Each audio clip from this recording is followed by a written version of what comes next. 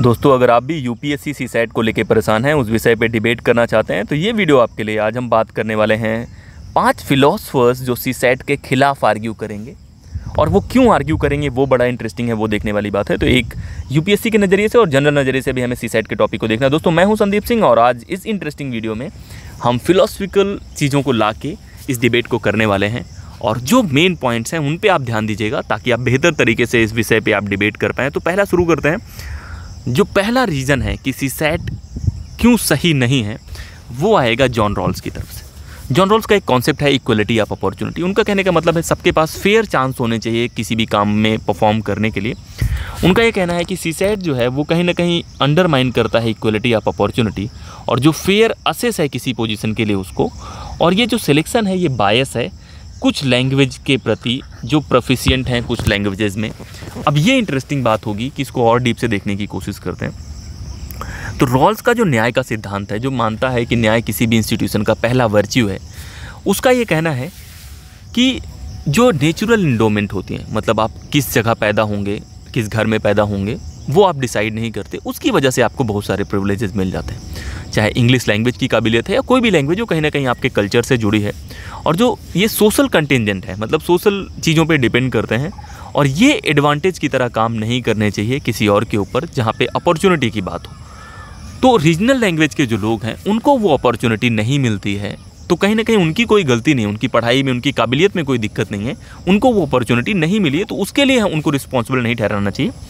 एक और रीज़न है कि कहीं ना कहीं ये अंडरमाइन करता है फेयर इक्वलिटी क्योंकि ये लिंग्विस्टिक कैपेबिलिटी के बारे में बात करती है, जो कि एक आर्बिट्रेरी फैक्टर है। सीसेट अगर आप सैद्धांतिक लेवल पे देखेंगे तो क्या मेजर करने की कोशिश कर रहा है? वो खुद बहुत क्लियर नहीं है। तो उस विषय पे एक लैंग्वेज के डिबेट पे हम कर सकते हैं फेयर चांसेस के बारे में हम बातें कर सकते हैं। फिर ये है कि सीसेट का जो तरीका है, वो एप्टीट्यूड और क्रिटिकल थिंकिंग मेजर करने का होना चाहिए। और वो ऐसे होना चाहिए कि न्यू, लिंग्विस्टिक न्यूट्रल वे में होना चाहिए कि जो भाषा है वो बीच में नहीं आनी चाहिए। क्या भाषा की काबिलियत ये डिफाइन करती है कि कोई इंसान कितना एनालिटिकल है कितना क्रिटिकल थिंकिंग रखता है उसका एप्टीट्यूड कैसा है? तो सीसेट के प्रति और सीसेट के जो पर्टिकुलर मैथ्स का पार्ट है उसके प्रति भी सिमिलर लॉजिक आएँगे कि कहीं ना कहीं आप कुछ डिसिप्लिन वालों को प्रियोरिटीज़ दे रहे हैं तो सबके पास फेयर चांसेस नहीं है। सबको अगर आप कोई भी रेस में दौड़ाते हैं तो किसी को अलग अलग जगह से थोड़ी दौड़ाएँगे। मतलब एक इनिशियल पोजीशन होनी चाहिए ताकि चीज़ें फेयर हो पाएँ। अब आगे और बढ़ते हैं। फिर अमर सेन और मार्था नुजबम का आर्ग्यूमेंट आएगा। ये कैपेबिलिटी अप्रोच के थ्योरिस्ट हैं। तो ये बात करेंगे कि कैसे ये इस तरह का जो प्रोविज़न होता है सी सैट का, वो आर्बिट्रेरी कहीं ना कहीं रिस्ट्रिक्ट कर देता है कुछ लोगों की कैपेबिलिटीज़ और ये उन लोग को प्रमोट करता है जो पर्टिकुलर कल्चर में रहे हैं या उस तरह के रहे हैं। तो आर्बिट्रेरी बैरियर ये क्रिएट कर रहा है कुछ लोगों के लिए। इसलिए प्रॉब्लमेटिक है। उनके जो की आर्ग्यूमेंट्स हैं वो देखने की कोशिश करेंगे। कि जो कल्चरल और एजुकेशनल कॉन्टेक्स है, वो सेव करता है लोगों की काबिलियत किसी भी इंसान के अंदर। और जो एप्टीट्यूड असेस करने का स्टैंडर्ड तरीका है सी सेट का, वो कहीं ना कहीं कुछ कैपेबिलिटीज़ को रिस्ट्रिक्ट करता है। कि एप्टीट्यूड में अगर आपका कोर क्या है मतलब सिर्फ़ वो बातें पता चलेंगी कि आप कुछ सब्जेक्ट में कितने हैं, वो भी सब्जेक्ट अगर नॉलेज चेक करना है तो फिर वास्तव में वो एप्टीट्यूड नहीं है। ये कहने का मतलब है, और कहने की जो रीजनल लैंग्वेज में है, जिनके कल्चरल चीज़ें डिफरेंट हैं वो कहीं ना कहीं सी सैट कैप्चर नहीं करता है।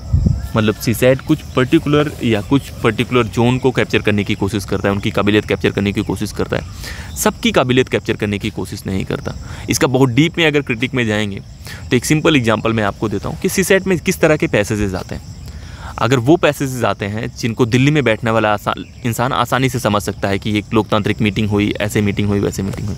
अब अब इमेजिन करें कि इस कॉन्टेक्स में कोई ऐसा पैसेज आए जहाँ गाँव में होने वाले टर्म्स का ज़िक्र है, जहाँ पे गाँव में होने वाले किसानों के बारे में ज़िक्र है और वैसे पैसे जाएँ तो जो गाँव में रहने वाला इंसान है, वो तो समझ जाएगा कि खेत की बात हो रही है, डांड की बात हो रही है, फावड़े की बात हो रही है, क्या हो रही है, उनकी थिंकिंग कैसे चल रही है। लेकिन जो दिल्ली में लोग बैठे हैं, उनके लिए डिफ़िकल्ट होगा। क्योंकि इसमें कल्चरल बहुत चीज़ें हैं। कोई कल्चरल प्रैक्टिस के ऊपर अगर आप पैसेज आ गया तो उस तरह की बातें हमें समझना है कि स्टैंडर्ड का मतलब होता है वो कल्चरल और उस तरह की चीज़ों से ऊपर हो और तब असेस करने की कोशिश करें। तो ये कहीं ना कहीं प्लूरल कैपेबिलिटीज़ के बारे में बातें करेंगे और कहेंगे कि प्लूरल कैपेबिलिटीज़ हैं तो हमें ऐसे फॉर्मेट लाना चाहिए जिससे हमें मल्टीपल लोगों की डिफरेंट कैपेबिलिटीज़ को भी मेजर कर पाएँ, उनके एप्टीट्यूड को समझ पाएँ। ये आर्ग्यूमेंट जो है हैबमस का, ये सबसे इंटरेस्टिंग आर्ग्यूमेंट है और इससे बेहतरीन आर्ग्यूमेंट कोई नहीं है इस पूरी सीरीज़ में। और अगर आपको ये किसी के प्रति यूज़ करना है तो आप समझ लीजिए कि आप ब्यूरोक्रेसी के अगेंस्ट भी आर्ग्यू कर सकते हैं इन जनरल भी आर्ग्यू कर सकते हैं। तो ये इस बात पर डिपेंड करता है, उनका एक कॉन्सेप्ट है कम्युनिकेटिव एक्शन का और डिलिबरेटिव डेमोक्रेसी का। कम्युनिकेटिव एक्शन क्या होता है? एक ऐसा एक्शन जो कॉन्सेंसस बनाने के बारे में है डिलिबरेशन के बारे में हो डायलॉग के बारे में हो, जहाँ पे अपने आप को सही साबित ना करने के बारे में हो। ये हो कि हम दोनों में से अपने अपने ओपिनियन रखेंगे, देखते हैं ओपन माइंड से कि कौन सही होता है। तो जहाँ पे कम्युनिकेशन की है, उस एक्शन के बारे में ये बातें करते हैं और ये डिफेंड करने की कोशिश करेंगे इस सी सेट के अगेंस्ट आर्ग्यू करने की कोशिश करेंगे। उनमें है कि कम्युनिकेटिव एक्शन वो होता है कि जहाँ पे फ्री एक्सचेंज ऑफ़ रीजन्स होते हैं, ताकि हम कंसेंसस बना सकें। और ये कहते हैं कि प्रोसीजरल जो रेशनैलिटी है, जहाँ पे सब लोग फ्री हैं और इक्वल पार्टनर हैं, और सब लोग क्लेम कर सकते हैं अपने वैलिडिटी को ट्रुथ के बारे में। वो एक सही प्रोसीजर होता है, ना कि एक इंस्ट्रूमेंटल रेशनैलिटी इंस्ट्रूमेंटल रेशनैलिटी वो रेशनैलिटी होती है जहाँ केवल खुद को सही साबित करना है, एक पर्टिकुलर तरीके से सही साबित करने के लिए होता है। अब आता है उनका कोर आर्ग्यूमेंट हैबरमास कहते हैं कि जो एडमिनिस्ट्रेटिव कैपेबिलिटीज़ होती है, उसमें ये ज़िम्मेदारी होती है उनकी कि जो भी पब्लिक डिलीबरेशन है, उसमें वो कैसे बेहतर तरीके से हैंडल कर पाते हैं, कैसे बेटर आर्ग्यूमेंटेशन कर पाते हैं और कैसे एक म्यूचुअल अंडरस्टैंडिंग क्रिएट कर पाते हैं। किसी भी मुद्दे को आप उठाइए। जहाँ पे आपको लग रहा है एडमिनिस्ट्रेटर और लोगों के बीच में कुछ अंडरस्टैंडिंग बननी है। तो गोल तो यही है ना कि लोग भी आपकी बातें समझ पाएँ, दोनों एक कॉन्सेंसस बना पाएँ और फिर आगे बढ़ें। लेकिन क्या ये इस तरह के एग्ज़ाम लेने के बाद पॉसिबल होगा? जब आप एक ही तरह के लोग लेंगे, जो एक ही एप्टीट्यूड वाले लोग हैं, एक फिक्स फॉर्मेट वाले लोग हैं तो क्या वो डिलीबरेशन को प्रमोट करेंगे? क्या वो एक अल्टरनेट पर्सपेक्टिव जो है उसको प्रमोट करेंगे? ये उस कोर पे आर्ग्यूमेंट है। कि अगर आप एक ही तरह के टेस्ट के माध्यम से लोगों को ले रहे हैं, जहाँ पे सिर्फ़ कुछ डिसिप्लिन के लोग आ रहे हैं, जिनका मैथ्स अच्छा है या जिनकी इंग्लिश अच्छी है तो क्या वो मल्टीपल पर्सपेक्टिव समझ पाएँगे जिनसे ना सोशियो इकोनॉमिक तौर पे, ना कल्चरल तौर पे उन्होंने कभी रिलेट करा है? ये बहुत ही प्रॉब्लमेटिक आर्ग्यूमेंट है। आर्ग्यूमेंट प्रॉब्लमेटिक नहीं है बहुत ही अच्छी बात है जो सवाल खड़े कर रही है कि किस तरह के लोग जो हैं ब्यूरोक्रेसी में जा रहे हैं। ये ब्यूरोक्रेसी के प्रति भी एक इंपॉर्टेंट आर्ग्यूमेंट हो सकता है कि लोकतंत्र में क्या सबसे स्ट्रांगेस्ट पार्ट होता है? जो पॉलिटिकल एग्जीक्यूटिव होती है, उसे अपर हैंड दिया गया है, वो वास्तविकता है। क्यों दिया गया है? क्योंकि वो लोगों के बीच में रहते हैं। लोग पॉपुलर सोवर्निटी इंपॉर्टेंट है ब्यूरोक्रेसी एक टूल है, वो इंड अपने आप में नहीं है। ये बातें हमें जितनी आसानी से जान लेंगे, वो समझ अंत में लोग हैं सेंटर पे, और लोगों को समझना, उनकी बातों को, उनको उस तरह से कॉन्सेंसस बनाना, वो की होना चाहिए, ना कि किसी ब्यूरोक्रेट के पास वो काबिलियत की वो सबको अपने हिसाब से ढाला दे। तो ये बहुत ही इंपॉर्टेंट आर्ग्यूमेंट है। इस पर एक अलग से वीडियो बनाया जाएगा। अब आगे हम जब बात करते हैं, इसमें टेक्निकल इंस्ट्रूमेंटल अप्रोच के बारे में बात करी है कि जो नेग्लेक्ट करता है, ऐसे लोग जो सिलेक्ट होकर आएँगे, वो कहीं ना कहीं डिलीबरेशन को नेग्लेक्ट करेंगे कम्युनिकेटिव एबिलिटीज़ के बारे में बातें नहीं करेंगे।